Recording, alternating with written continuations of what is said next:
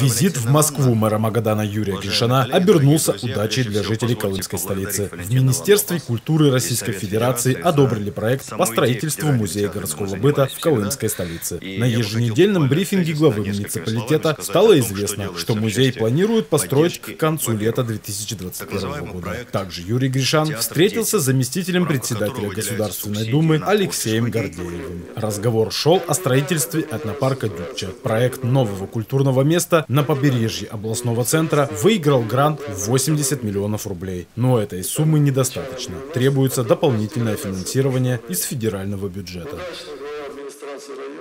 Я уже говорил о том, что мы выиграли. Грант всего 80 миллионов рублей. Но э, территория э, под парк Дюбча, она значительно больше, чем под первую очередь парка Маяк.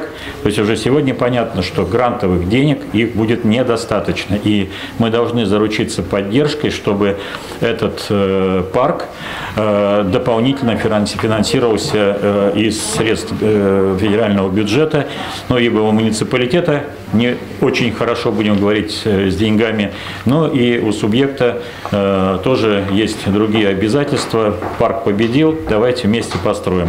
Парк интересный, оценен был э, проект очень высоко.